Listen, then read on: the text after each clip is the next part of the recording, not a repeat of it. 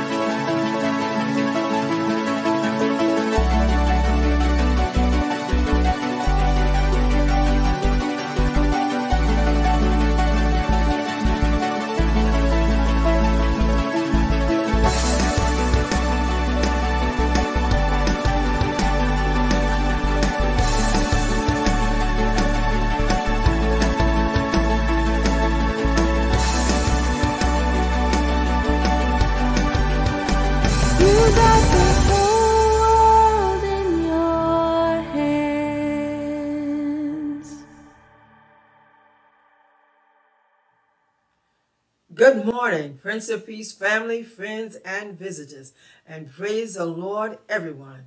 It is always good to be in worship on Sunday morning.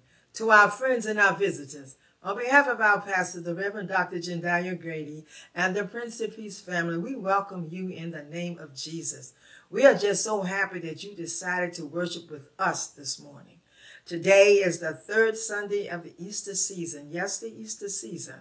Easter season begins on Easter Sunday and it ends on Pentecost Sunday. And during this 50 day period, it's a time not only for celebrating the resurrection of Jesus Christ, but it's also a time for us as Christians, as a part of the body of Christ, to reflect upon the commission that He placed upon us. He told us to go forth and spread the good news of the gospel. We need to think about what have we done? What have we done to spread the good news of the gospel? Today is also Communion Sunday here at Prince of Peace. And we ask that each of you will stay to the end of the service and that you will join us around the virtual communion table uh, as we enter into this time of reflection and remembrance a time of remembering what Christ did for us on the cross, and a time of celebrating what we received as a result of his sacrifice, and that's a right to eternal life. Also, I ask if there are any special uh, prayer requests, we ask that you simply click on the space at the bottom of the, of the screen for uh, to request a prayer, and we will get back to you. Also, uh, you can place it in the chat if you so desire. Now, we also ask that everyone will be uh, come out an active participant in this service this morning. We're asking that everyone will join us in the chat, placing whatever God puts on your heart. I mean, everyone has something to thank God for, uh, something to praise Him for, something to just give Him the, to glorify Him for. God has done something for each of us that warrants our special attention and that warrants our praise. You see, uh, God is I am who I am. He's a God who never changes. His promises never fail. And when we are faithless, he is faithful. So as let us go forth, giving God the glory, giving him the honor. So as the Levites come before us with songs of worship and praise, let us just continue to bless his name. Bless the name of the Lord.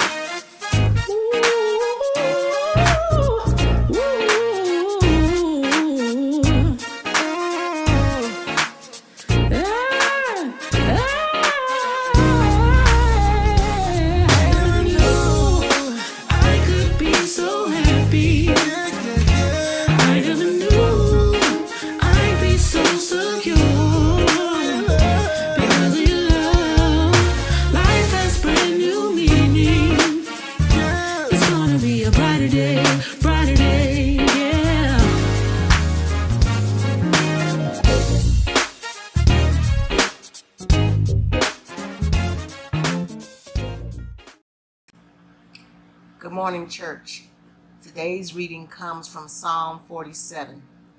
Oh, clap your hands, all you peoples. Shout to God with the voice of triumph. For the Lord Most High is awesome. He is a great king over all the earth. He will subdue the peoples under us and the nations under our feet. He will choose our inheritance for us, the excellence of Jacob, whom he loves. God has gone up with a shout, the Lord with the sound of a trumpet. Sing praises to God, sing praises. Sing praises to our King, sing praises. For God is the King of all the earth. Sing praises with understanding. God reigns over the nations. God sits on his holy throne. The princes of the people have gathered together, the people of the God of Abraham. For the shields of the earth belong to God. He is greatly exalted. May God add a blessing to the reading, hearing, and adhering to of his word. Amen. Good morning. Heavenly Father, we come today giving your name all the honor, giving your name all the praise, and giving your name all the glory. God, we come today because we know that you are the God of the impossible. God, that there is no greater love than the love that you have for us. God, the songwriter says, search the world over, but there is none greater. And so, God, we just thank you for that. God, we don't have words enough to tell you how much we love you and to tell you how much we appreciate you, to tell you how much we just adore you. But God, you know what's in our hearts. And so, God, we just thank you. Thank you, God, for the greatest gift that you could ever give us, which is the gift of your Son. And God, then we come, of course, knowing that we don't always get it right. We have re- we have no reason to fear, oh God, but sometimes we do. We have no reason to worry, but God, sometimes we do. My prayer is, oh God, that you would cleanse our hearts, oh God, so we, we can rely more on you, God, and trust you the way that you have asked us to do. We know, oh God, that that comes through everlasting faith and that comes through continuing to stay in the word. And so, God, we just thank you for who you are. We just thank you, God, for the health and the strength that you give us. We thank you, God, for the peace that surpasses all understanding that you give us. We thank you, God, that you give us that ability to love one another. We just thank you, God, for who you are. And then, oh God, we pray that you would bless our sick and shut in. You know who they are. We pray, oh God, for this country. We pray for this nation. Uh, we lift up a special prayer for Ukraine and anyone else who's going through anything, God, whether it's behaviorally, whether it's financially, whether it's physically, whether it's emotionally, God. You know what they stand in need of. And so we ask, oh God, that you bless them and that you keep them. We say a special prayer for our partners, uh, and that is the Cameron Grove Ministry. We ask that you bless every single person there and even their families and so forth. We ask a special blessing for all of our members here at Prince of Peace. Give them what they stand in need of, God. You know what it is, and we ask, uh, God, that you would bless our uh, first family, uh, uh, anoint and continue to bless our pastor that you have placed here for such a time as this. We know, oh God, already that we're going to receive a mighty, mighty word from you because you never disappoint us, God, every single Sunday morning. So, God, we just thank you. God, we just praise you. God, we just magnify your holy and righteous name. In Jesus' name, amen.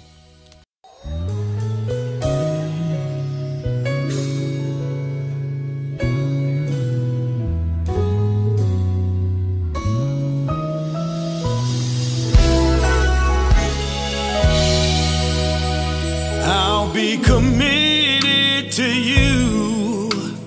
I'll never leave you. Nothing in this world could make me walk away. No matter what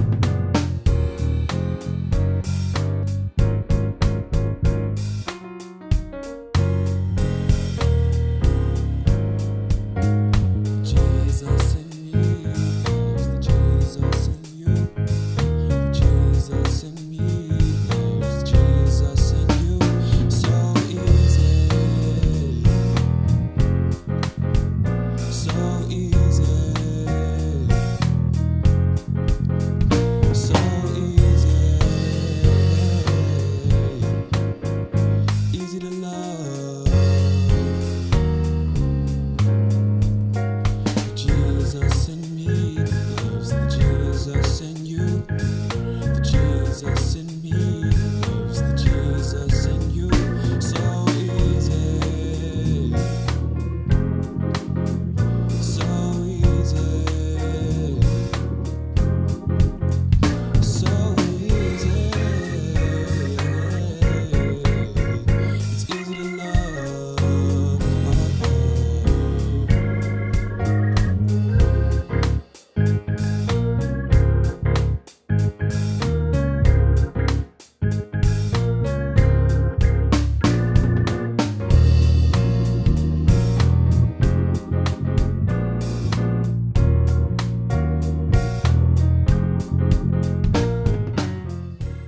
Saints. Can we give the Lord a hand clap of praise?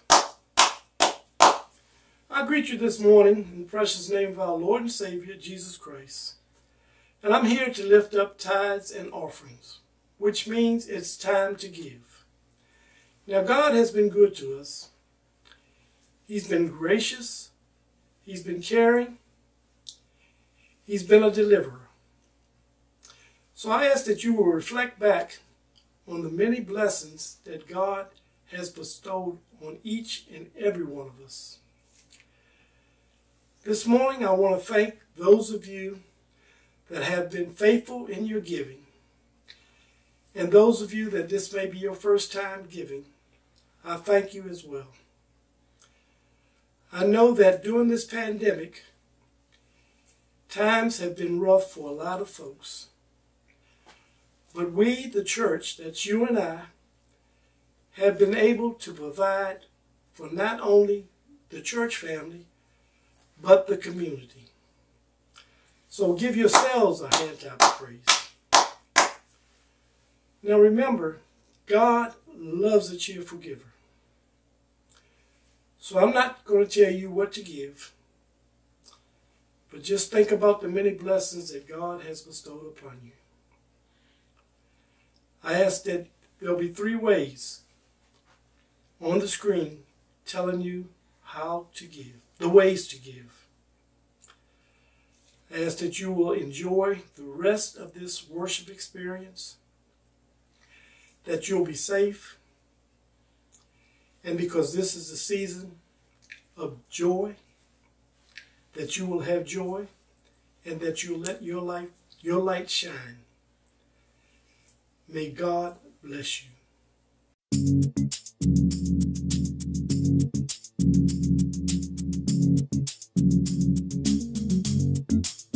Let me hear you say bless, bless, bless.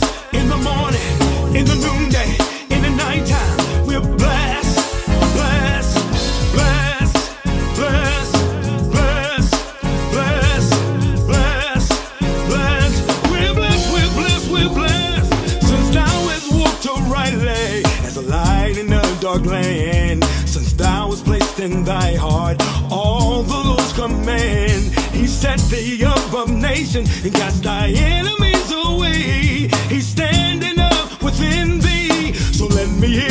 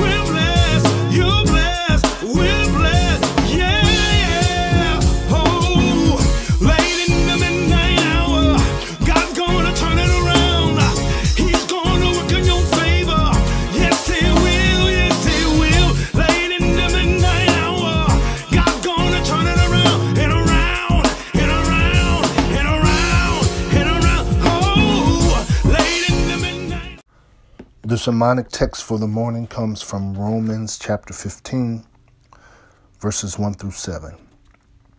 We who are strong have an obligation to bear with the failings of the weak and not to please ourselves. Let each of us please his neighbor for his good to build him up. For Christ did not please himself, but as it is written, the reproaches of those who reproached you fell on me.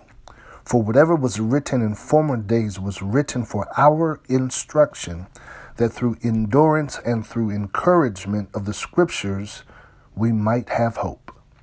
May the God of endurance and encouragement grant you to live in such harmony with one another in accord with Jesus Christ, that together you may with one voice glorify the God and Father of our Lord Jesus Christ.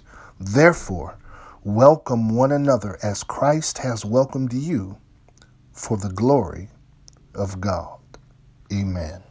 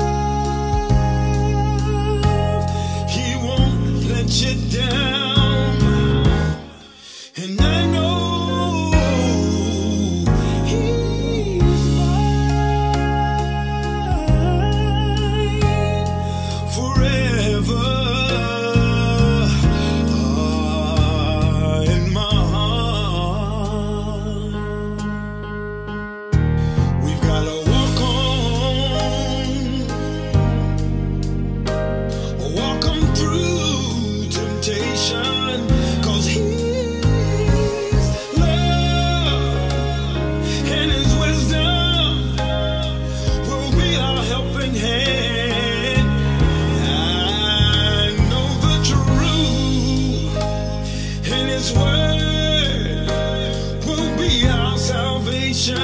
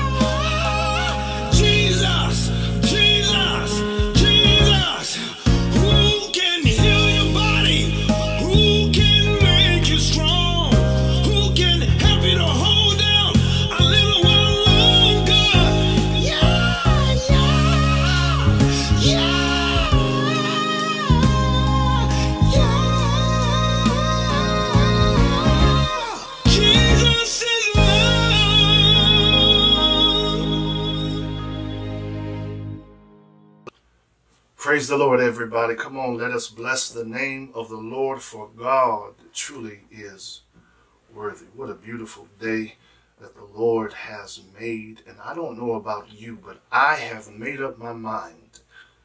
I'm going to bless him. I'm going to praise him. I am going to worship the Lord. Won't you magnify the Lord with me so that we can exalt his name together? Come on, stand on your feet if you can. Give him a standing ovation, for God has done marvelous things for you and for me. Thank you, Levites, uh, for that worshipful introduction into the preaching hour, uh, because I believe God has a word for us today. Won't you pray? Eternal God, our Father, thank you for this another day, another privilege that we could come together and worship you in spirit and in truth. God, it's the preaching hour, and I need you right now. So God, anoint me afresh, Father, that that I might speak with clarity and conviction and not confusion. And the listener, the hearer, would hear the seed of the word, ultimately, God, it would produce change, positive change in their lives. Let someone be saved, let someone be changed, let someone be delivered, let someone be transformed. Ultimately, God, be glorified in this experience, in this exchange. In Jesus' name we pray. Amen. The sermonic text has already been read. That is Romans chapter 15, verses 1 through 7. I want to preach from the subject Four Compelling Characteristics of a Loving Church. Four compelling characteristics of a loving church. Beloved, in a world filled with hatred, what the world needs now is love. In a world filled with so much confusion, what the world needs now is peace.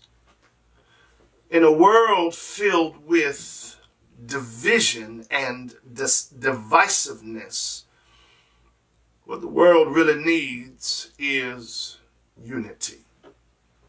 In a world filled with selfish individualism, what the world needs is communal sacrifice. And in a world filled with rejection, what the world needs now is acceptance.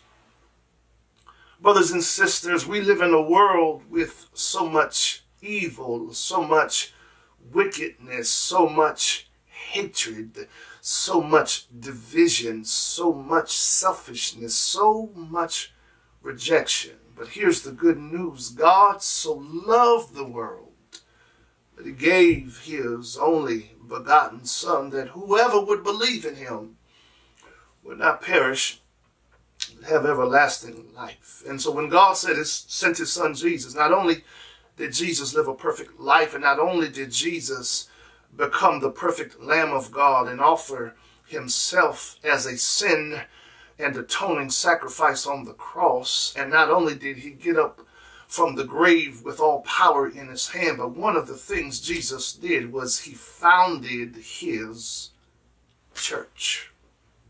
He said, Upon this rock I will build my church, and the gates of hell will not prevail. And so, my brothers and sisters, may I suggest to you that God, in his sovereignty, has planted his church, the church of Jesus Christ, in the midst of the soil of this wicked world. And our purpose, the purpose of the church of Jesus Christ, it's twofold. It's to reflect the character and the cause of Christ. Well, what is the character of Christ? The character of Christ simply is love, for Jesus is love. But, but the cause of Christ is really liberation. For Jesus liberated us from the power and the bondage of sin, of Satan, and of death, and of any evil thing. Um, through his sacrifice, he delivered us from the penalty of sin. He is delivering us from the power of sin, and one day we will be delivered from the very presence of sin. Jesus, his main cause is liberation. So when we are liberated from our bondage, it renders us free to love. That when we are redeemed, when we are saved, when we are delivered, when we are liberated, we have the freedom to love one another in the same way Jesus has loved us. And my brothers and sisters, that is the purpose, that is the assignment of the church. In a word, it's to love. The purpose of the church of Jesus Christ is to love one another the same way Jesus has loved us. Not now, at times in this culture, love can seem abstract or nebulous, but um, the true sense of the word love uh, is demonstrated by consistent action. And so we can measure love, we can observe tangibly uh, the expression of love. And, and that's really my assignment today. Today, I just want to look at four compelling characteristics of a loving church uh, that we, we, ought to be able to, to demonstrate um, love in a very practical way and so people can experience the character and the cause of Christ through his church. And so let, let, us consider our text. We find ourselves in the epistle to the Romans, uh, chapter 15, verses 1 through 7. And our text falls within the practical portion of this epistle. See, the Apostle Paul is strategic in his writing. He usually begins the letter or the epistle with heavy doctrine, heavy theological information so that we know God better. We can understand the will of God in a deeper and a more profound way. And then after the doctrine part of the epistle, Paul then moves into the duty part of the epistle. Let me say it another way. Paul usually begins uh, with theological principles, but then after we understand the principle, Paul then encourages the reader to then put those principles into practice, to practice. That once we know better, we ought to do better.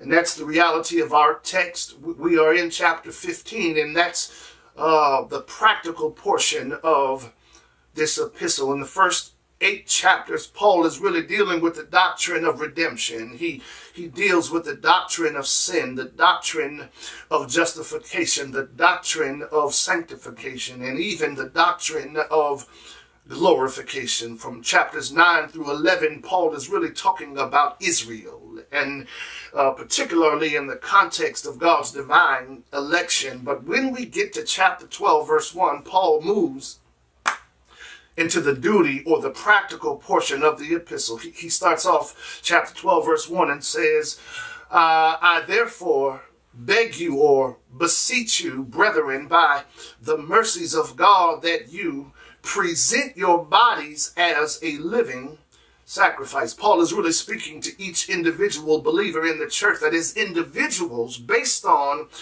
what you understand of what Jesus has done for you and how he has gave himself as a sacrifice, our response to the revelation of Jesus is that you and I individually should present ourselves as living sacrifices before God. But when we get to our text, Paul is speaking corporately in chapter 15, verse 1, uh, he, he says that we who are strong have the obligation uh, to bear the infirmities or bear the, the, the failings of those who are weak. In other words, he's saying that corporately, we, we ought to be living sacrifices, that the church of Jesus Christ ought to be a corporate living sacrifice to the glory of the Lord.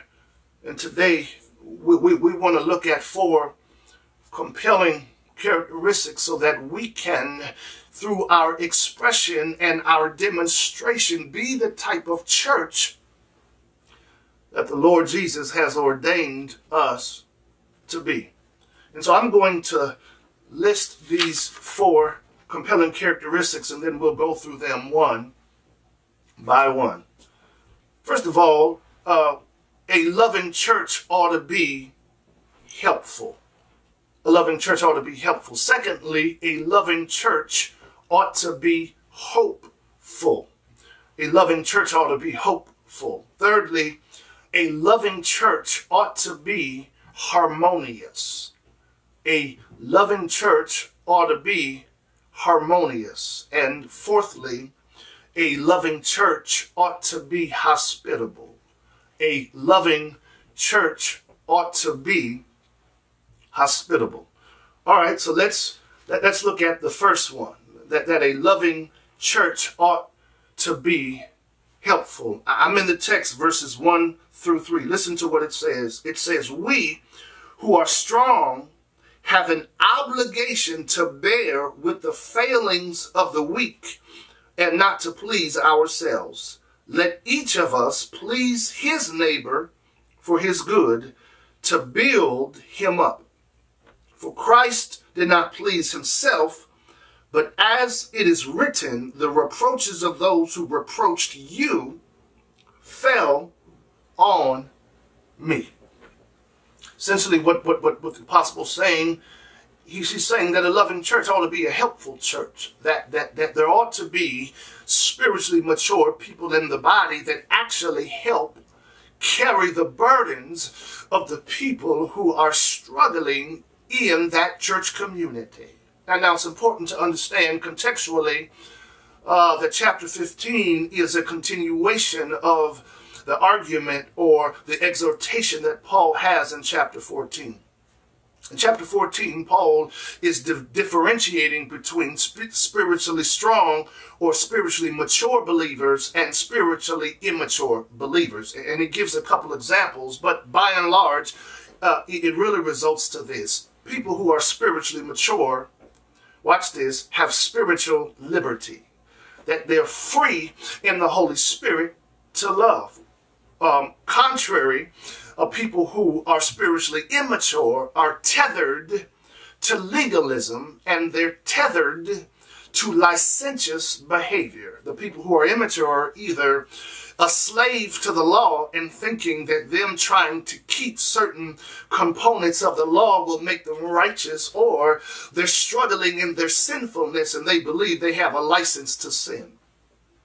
Whereas people who are mature are, are, are not necessarily uh, overcome all of their sin, but they understand that there is a sanctification process where the Holy Spirit is helping them overcome and get closer to God on a daily basis. And they understand uh, that, that we are no longer amen, in bondage to the law because Jesus fulfilled the righteous requirements of the law. We are in this dispensation, in this economy of grace. And so Paul gives a couple examples. He says that, that, that people who are spiritually weak or immature, that they uh, are quarreling over things that are really not that important. That, they're quarreling about what foods they should eat or not um, in as a as a means of righteousness. And and Paul is really saying that spiritually mature people have liberty to eat what they want because we are no longer under the law of Moses. In, in the Levitical law, you couldn't eat pork. You couldn't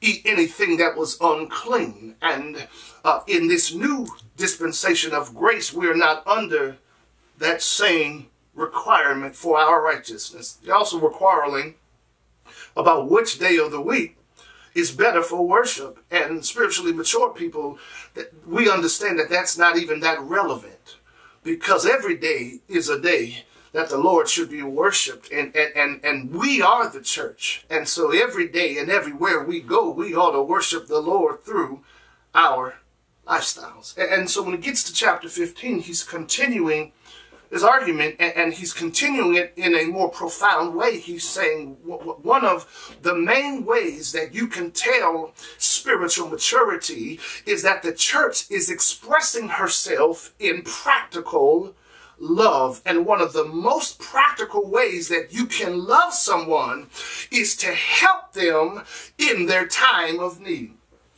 That- That's what the psalmist says about God. And Psalm 46, he says that the Lord is a present help in our time of trouble. And that's what the church ought to be.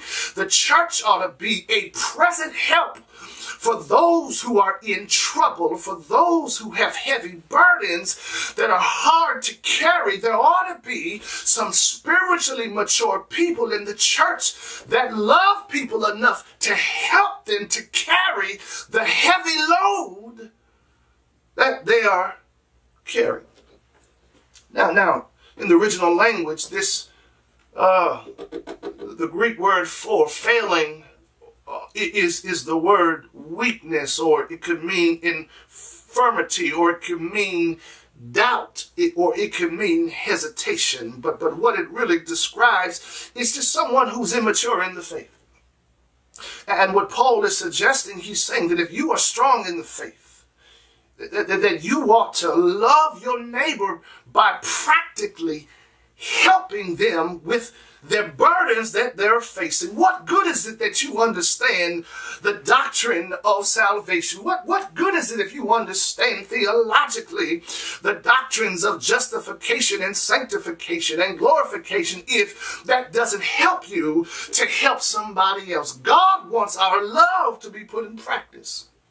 Now, now, now let, let, let's, let, let, let's take this a little bit deeper.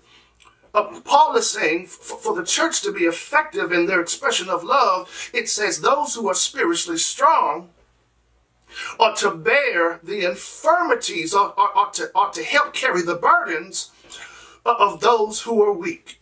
Here's what this means. It means if you are spiritually immature or spiritually weak, you don't have the capacity to handle your own burdens. Oh, I just said something. Preach, Pastor Grady. What what I, I said that, that if, if if Paul is saying that the strong should help the weak, what he's really saying is the weak can help themselves.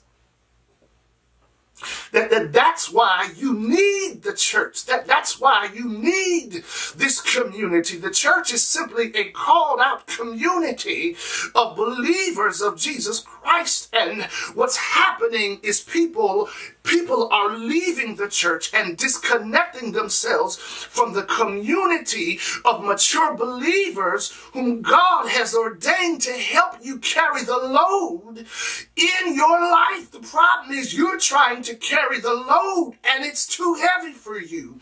You're not strong enough to carry the load that you're under. That's why church is is God's blessing, it's God's gift to the world because uh, with the mature believers we can help carry carry the load. But but but wait a minute. Not, not only is the weak not supposed to bear their own burdens, um, uh, the strong is supposed to bear their burdens or help them carry their burdens. As a matter of fact, Paul says in Galatians chapter 6 verse 2, it says, bear one another's burdens and so fulfill the law of Christ. And the law of Christ is simply love, that, that, that it is our responsibility of those who are spiritually mature to bear the burdens of one another. But not only can, can the weak not carry their own burdens, the strong are not supposed to carry our own burdens either. Oh, somebody missed that. The, the, weak are not supposed to carry their burdens by themselves, but can I tell you, neither are the strong. In, God's economy, in, in God's wisdom, he, he says that the strong help to carry the burden of the weak. and the strong, you're not even supposed to carry your own burdens. And so the question is then if if if the strong are carrying the burden of the weak, then who is helping the strong carry their burden? I'm so glad you asked. I I was wondering the same thing because sometimes my burdens get heavy and, I needed to ask somebody who, who understood my struggle, to understood how much pressure I'm under. And I found someone who could relate. I, I talked to my man, King David, and I said, listen, you're a shepherd. You, you understand the pressure. You you understand the weight. You understand the responsibility. You, you you're the king of a whole nation, and and and you spend a lot of time taking care of sheep, taking care of the people who are under your care. David, um, who takes care of you? And you know what he told me? He said, The Lord is my shepherd. I shall not want. He, he makes me to lie down in green pastures. It's He that restores my soul. Oh, ah, it's the Lord that is the help for the helper. Yes, all of our help comes from the Lord. Um, even when we are, a man taking care of the weak, the Lord, even through his church, helps to take care of the strong because ultimately it's the Lord's power, it's the Lord's strength that takes care of both the strong and the weak. I, am reminded, uh, Dr. Philip Pointer tells a story. Uh, uh, years ago, uh, Mary Kay of Mary Kay Cosmetics was doing an interview about her products in and and during the interview she, she had on two gold necklaces and, and on the necklace on each necklace there, there was one small shovel and there, on the other necklace this was a large shovel and and in the midst of the interview the interviewer could, couldn't help but to wonder why she had two shovels and and so he asked her, um, I gotta ask you, Mary Kay, what, what, what is the purpose of these two shovels around your neck? And she said, I'm so glad you asked. The, the, the little shovel is for me, and the big shovel is for God. And, and, and when I see the little shovel, it reminds me that when I shovel out with my little shovel, God shovels in with his big shovel. That when the strong help to bear the burdens of the weak and we get depleted with our little shovel, God restores us and replenishes us with his big shovel. And so God gives us the ability to continue to bear the burdens of those in our community as long as we are positioned under the fountain that when we give out, the Lord give in. And that's the picture of a loving church. First of all, a loving church is a helpful church. But then, secondly, may, may I suggest that a loving church is a hopeful church. A loving church is a hopeful church. I, I'm in the text, verse 4. Listen to what it says. It says, For whatever was written in former days was written for our instruction, that through endurance and through the encouragement of the scriptures, we might have hope. I love this. Paul is saying, he's saying that, well, whatever was written, he's talking about the written revelation of the word. He's saying that that, that, that was useful and it's useful for both our endurance and our encouragement so that we might have hope.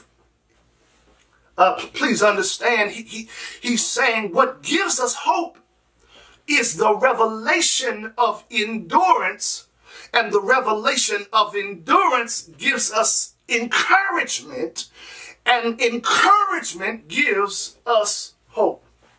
He's saying that when uh, the ancestors, when the people that came before us, when we have a record of their struggle, when we have a record of their trials, when we have a record of their storms, but we also have a record of how through Christ they endured. Through God, they were able to overcome the difficult seasons in their lives. It encourages us so that we can have strength and hope for our journey that lies ahead. And that's really what the church is supposed to provide that when we have the testimony of, people in the body of Christ that have been through some stuff, that have endured some trials, and in their testimony, they're encouraging the people to continue to hold on until Shiloh comes.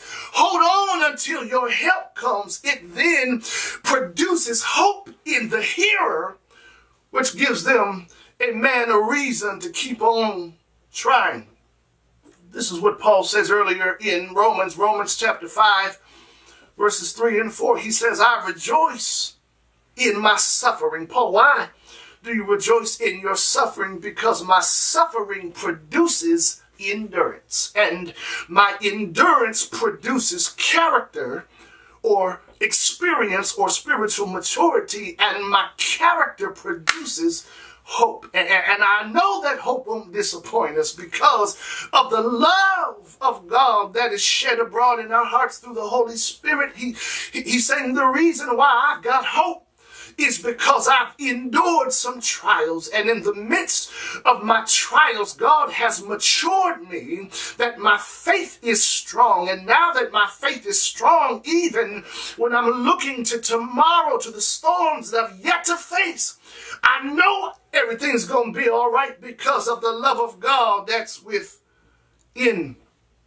me. And here it is practically that we are living in a world where people are losing their hope. They- They're losing their hearts and, and they ought to come to the church house. They, they ought to come to a community that is overflowing with hope. That they sit down in the pews and they hear somebody telling their testimony about how they were sick and God healed them and how they were broke and God provided and how there was no way, but Jesus made a way when there was no way. And just them hearing the testimony of the saints gives them the encouragement to hold on and to see what the end is going to be. And if you truly are a loving church, not only are we supposed to provide help in a time of need, but we're supposed to also provide hope in a time of need because our hope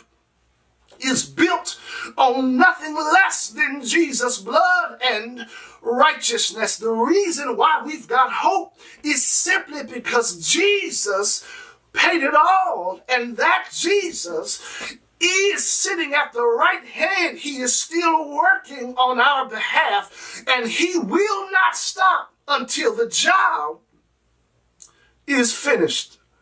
Our hope is eternal, and so we can always look to eternity even when we're struggling here on earth. I dare you to magnify the Lord and bless Him and thank you for His church. Uh, If you've been helped in church, I dare you to thank God for His church. If, if you've received an infusion of hope, because you've listened to the testimonies of the saints. You've heard, amen, the Levites sing a song that brought tears in your eye and encouraged your soul. Or you, you, you brought some help to one of the elders and they, they were able to help you. You ought to thank God for the ministry of the church. Come on, bless the name of the Lord. Hallelujah. Thank you, Jesus. Hallelujah, hallelujah. Come on, bless the name of the Lord. I'll testify that I've I've I've gotten help from the church. I've I've, I've, I've had practical needs. I've had spiritual needs. I've had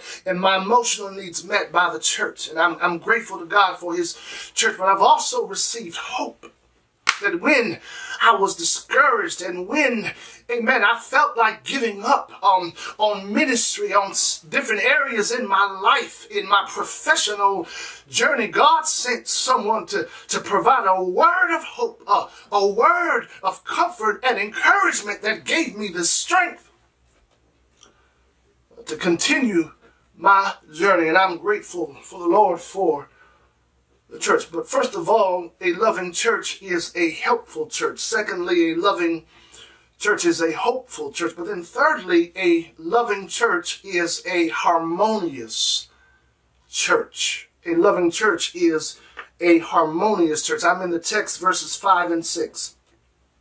It says, May the God of endurance and encouragement grant you to live in such harmony with one another, in accord with Jesus Christ, that together you may with one voice glorify the God and Father of our Lord Jesus Christ. I, I love this what he says, verse verse 5. It, it- it sounds like a doxological exhortation. He says, May the God of endurance and encouragement grant you to live in harmony. I, I like what Paul is saying. He- he's saying, please don't get it twisted. If you've received any type of encouragement from the testimonies of the saints' endurance, understand that the source is God. God is the God of endurance. He's the God of encouragement. He's the source of our strength, and He is the strength of our life. But but but He says, may the God grant you uh, this ability to live in harmony, in accord with Lord Jesus Christ, that we may, Amen, uh, operate in one voice together that glorifies God. Um, notice the key word here.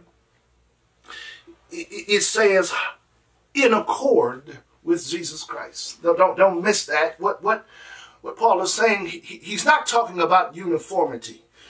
Because in the church community, um, not, not everybody looks alike. Not everybody has the same uh, giftedness. Not, not everybody worships the same. He's not talking about doing everything the same way.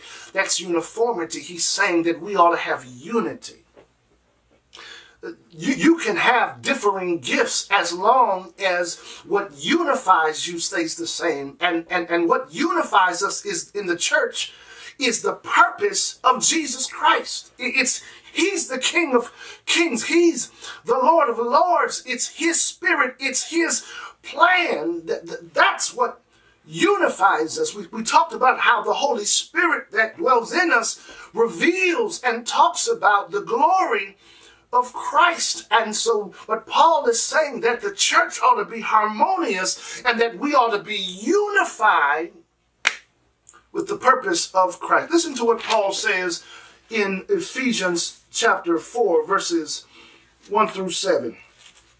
Listen to what it says, excuse me, 1 through 6. He says, I therefore, a prisoner for the Lord, urge you to walk in a manner worthy of the calling to which you have been called, with all humility and gentleness, with patience, bearing with one another in love, eager to maintain the unity of the Spirit in the bond of peace. There is only one body, that's the body of Christ, and one Spirit, just as you were called to the one hope that belongs to your call one Lord, one faith, one baptism, one God and Father of all, who is over all and through all and in all. It- it's, it's, it's a cry for unity. He says, may, may the God of encouragement and endurance grant you to live harmonious with one another. Now, I want to be real with you. I want to be really real with you. That is difficult. It, it's almost impossible uh, to be harmonious in the church. And, and, and, many of you can attest to that because even though the church is supposed to be a church of, of peace, you've experienced confusion. E- even though the church is supposed to be a church of acceptance, many people have been rejected even though it's supposed to be a church of unity, that there's been division and divisiveness in the church. And here's part of the tension in the text and the tension that we experience in church communities. Church communities is filled with people who are at different levels of spiritual maturity. All right, y'all not hearing me. Let let me say it like this way. There are churches are comprised of people, here it is, that are not strong in the Lord and are even not even in the Lord. So we've got different personalities, different types of emotional intelligence. Um, we, we've got we've got straight disrespectful people in the church. We, we've got selfish people in the church. We, we, we just got nasty and critical people in the church. And these are the people that get on your last nerve. And Paul says, but if you are a, loving church, then you ought to find a way to love them and to ultimately be in harmony with them. How, how, how can I love someone who gets on my nerves? How can I be harmonious with, with, with, with them if, if they're not wanting to be harmonious with me. I, am trying to help them and they don't want my help, but then they talk about how the church don't help them. Um, how are we supposed to be harmonious with people who really don't want to be harmonious? How can sheep be harmonious with wolves when wolves don't really like to be around people? That's the struggle uh, of the local church. But, but let me tell you the solution. It's, it's in the text. He, he says, it's right here. It says, in accord with Jesus Christ. Paul's using this metaphor of one sound. Um, a chord in music is three or more different notes. Um, but they, when they are sung together, it produces one harmonious sound right now, that, that's when all the notes are on key. But, but, but sometimes somebody is singing off key. And when that person or those persons are singing off key, it messes with the sound. It's no longer harmonious because it's obvious that somebody is singing off key. Well, well that's what happens in, in, in real life. But let me, let me tell you how we solve uh, the, the, the, the off-key problem. Jamal Norwood, our music minister, he, he's not just our music minister, but he's also a music producer. And and so he, he has to, to sometimes he has to manipulate sound to make it sound good. And one of the things he does when we sing, when we send him uh, uh, um, uh, music or singing him, our singing, and it's it's off key. What what what what Jamal has, he has pitch correction software or, or auto tune that when it detects that the sound is off key or off pitch, it, has the ability to correct it so that it sounds on key so that the sound is not divided, but it sounds as one harmonious sound. And what the text is saying, he's saying that the church ought to have what is called divine auto tune that, that the church ought to be able to, that when somebody is off key with their character, off key with their behavior, off key with their words, that's messing with the unity and the harmony of the sound that's supposed to glorify God with one sound, there ought to be some elders in the church that privately correct the key so that when the sound goes forth, it sounds harmonious because Jamal doesn't embarrass the people who sings off pitch. He just corrects it so the sound is good. And you don't have to embarrass people who are struggling in their walk with Christ. You know why you ought to condemn them? Because you were once where they were. And the same patience that God had with you and people had with you is the same patience you ought to have with someone who's a babe in Christ. Just quietly correct them, help them to change their ways so that when they come in the body, their sound is unified, one harmonious sound.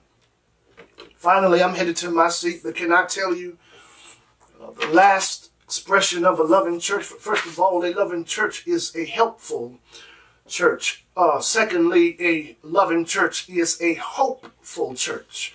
Thirdly, a loving church is a harmonious church. But then finally, a loving church is a hospitable church. Hospitable church. I, am in the text, verse 7. He, he concludes this portion of scripture's pericope by saying, Therefore, welcome one another as Christ welcomed you for the glory of God. Welcome one another as Christ has welcomed you for the glory of God. The command, the exhortation is to welcome one another in the same manner as Christ has welcomed you.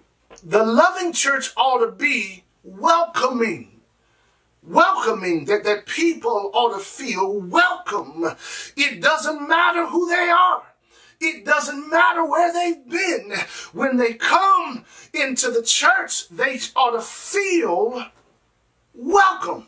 Well, well, notice what he says. He says that, that you ought to welcome them the same way that Christ welcomed you. So we've got to ask the question, well, how did Christ welcome me? First of all, he welcomed me just as I am. Don't don't don't miss that. Notice Christ didn't prejudge me and say, "No, nah, you're, you're not good enough. You you're not dressing holy enough. You're not churchy enough to, to come into my church." No, no, no. He, he accepted me just as I am. If you read the Gospels, that's the difference between the ministry of Jesus and the ministry of the Pharisees. The Pharisees had regulations and says, "You don't measure up." And so you, you can't be a part of this club, this community, because you ain't holy enough. Jesus welcomed sinners. He ate with them. He healed them. And because he welcomed them then, he could then transform their lives. The first thing he wants us to do is to accept a welcome people into the community. Well, doesn't matter who they are, doesn't matter where they've been, it doesn't even matter what they believe, but the fact that they're coming means they're looking for something. They're looking for change. They're looking for help. They're looking for hope. They're looking for harmony. And we ought to be hospitable to welcome them into the family of God. Now, just because we accept them and welcome them as they are doesn't mean that our intention is to keep them to stay that way. No, because Jesus not only did he accept us as we are, but he didn't allow us to stay the same way. He loved us too much to stay immature, but he matured us. He transformed us so that we could trust him and love God in a greater way, and that's the responsibility of the church. It's, it's first of all to accept people as they are, but once they come in, then it's our job to help them to grow in grace and in the knowledge of Jesus Christ. It's our job through love to help them to grow into spiritual maturity. That's what Paul says in Ephesians chapter 4. He says, speak the truth in love. And so they may grow up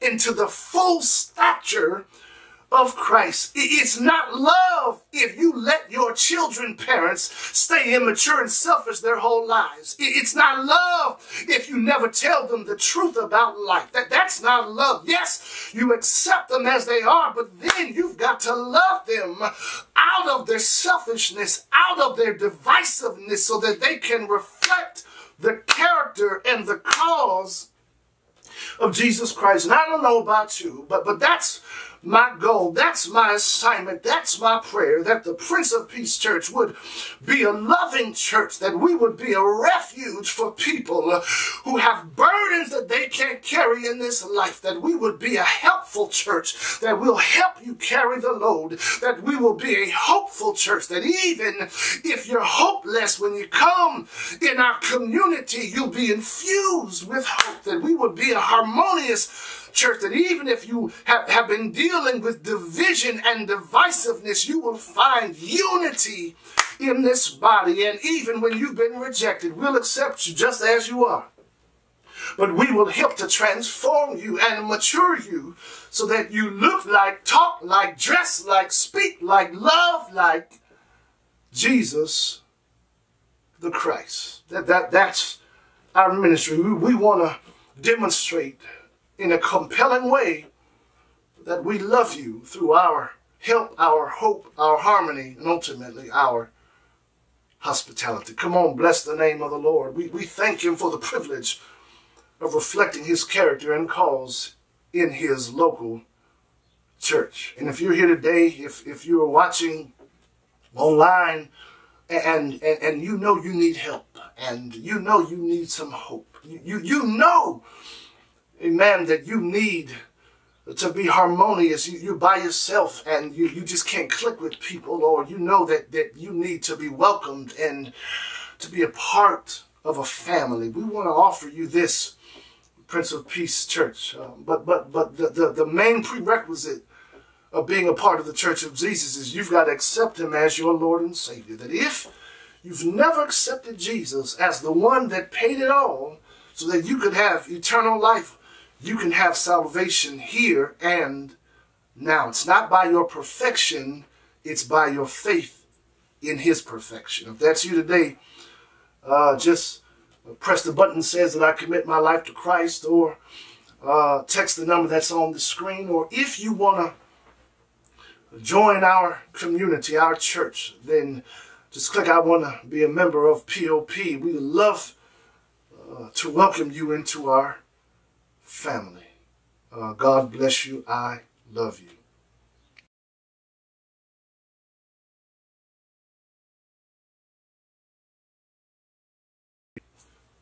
Praise ye the Lord. Hallelujah. Hallelujah. I trust uh, that you have your communion elements, uh, bread and the fruit of the vine, or crackers, whatever you have to celebrate and commemorate the sacrifice of our Lord Jesus Christ. Uh, communion is so uh, important because uh, Jesus is inviting us to his table. Uh, in on this table, we we are memorializing the death and the sacrificial offering of Jesus. That he broke his body and spilled, poured out his blood, so that we could have forgiveness, we could have redemption, we could be liberated from the bondage of sin and death and the penalty that uh, coincides with God's wrath. And here's the good news um, that the reason why he, he says, as often as you do it, do it in remembrance of me, is because the benefits of this sacrifice never run out. That even though he offered himself one time, the blood still works. The blood the sacrifice is still efficacious in that we have an unlimited supply to the blessings that are in Christ Jesus. And so that there's help at the table. There's hope at the table. That there's harmony. Uh, koinonia is, is this idea that, that we have all things in common um, that is centralized through Jesus Christ, and, and that we there's hospitality that all are welcome. If, if you put your faith in the Lord Jesus Christ, then, um, then then you can remember what He did for you personally. And when you remember what He did for you, you can then share that love and welcome somebody else in the same way that Jesus welcomed you. Let us pray. Children of God, our Father, Lord, we are overjoyed with gratitude for you, Lord. Love us so much that you sent your Son, and He loved us by breaking His body and shedding His blood. The law says that without the shedding of blood, there can be no remission of sins. But Jesus shed His blood. He poured out his blood. He broke his body, nailed every sin that we wrestle with to the cross. He, he became our shame. He became our curse. He took our guilt upon him. And now those who profess Christ and believe in our heart that he died for us and got up from the grave, we are free. We are forgiven. Now we have this responsibility being in the Church of Jesus Christ, we're free to love others with the same love that we receive from Christ. And so, God, help us never to forget. But let this sacrifice be fresh on our minds. That we would not, on the one hand, that we would not be ashamed and feel guilty all the time when we mess up. That Jesus paid it all, but also that we have the power and the freedom uh, to give help to others in their time of need, to infuse hope to those who are hopeless, to, to, to, to get along with folk who are even difficult so there can be harmony. And that we could welcome those who have been rejected by this world, that they could find acceptance in us. Lord, we ask that you bless this, Prince of Peace Church. Lord, we want to be a loving church, and we need your help. Grant us the ability to endure and to encourage one another so that we may have hope. Help us to tell our testimonies so that people can be encouraged and they can hold on to see what the end is going. Give us the resources we need so that we could be fruitful in ministry, God, on an individual and corporate level. Father, help us to be a blessing in the lives of other people. Lord, we need healing.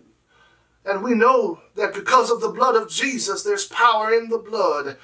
We, know that he was bruised for our iniquity, and by his stripes we are healed, God. So let that healing manifest, God. We, we need, somebody needs peace in their lives. Somebody needs for you to make a way when there is no way, or seems like there's no way. Somebody needs a door closed. Somebody needs a miracle where you open a door that they have what they need to get to the next level, God. You know what we need. You know what we stand in need of, God. Help us to tell our testimony, to spread the good news of the gospel. Help us to be loving and more sacrificial than selfish so that when people see us, they see Jesus. That when people hear us, they hear Jesus. This is our prayer, God. Help us to be sacrificial. That we will present our own bodies as living sacrifices, both individually and corporately, so that you will get the glory from our lives. Bless these elements, God. Um, we know they're symbolic, um, but, but, but help them to symbolize in our memory the, the sacrifice of Jesus, that we may carry it out even in our own bodies. We love you, we thank you. It's in Jesus' name we pray. Amen. Amen. That night in the upper room, Jesus wanted uh, to enjoy a fellowship meal with his disciples before Calvary. And he, he took the bread, he, he blessed it and break it. And he said, take, this is my body, eat all of it.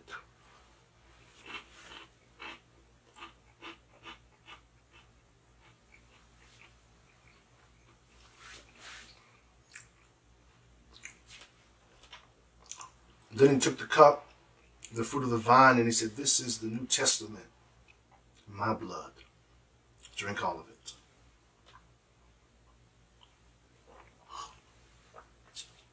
After they had eaten and uh, drank, they worshiped. They sang a hymn and went out into the Mount of Olives.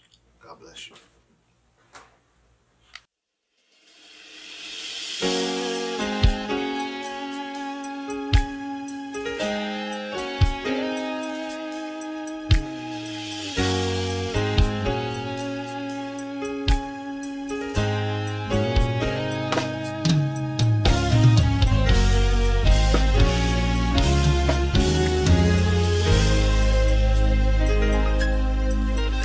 Cause at the mention of your name, every knee must bow, every tongue confess that you are, you are Lord.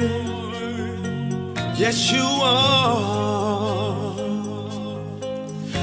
At the mention of your name, every knee must bow, every tongue confess that you are, you are Lord. Yes, you are. Cause at the mention of your name, every knee must bow, every tongue confess that you are, you are Lord. Yes, you are.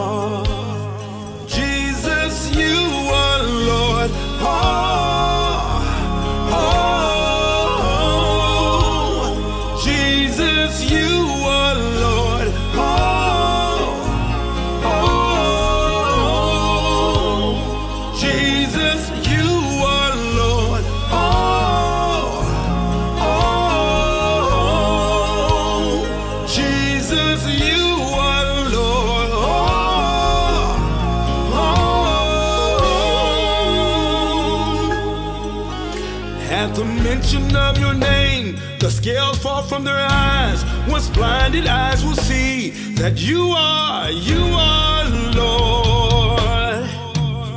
Yes, you are. So at the mention of your name, the scales fall from their eyes. Once blinded eyes can see that you are, you are Lord. Yes, you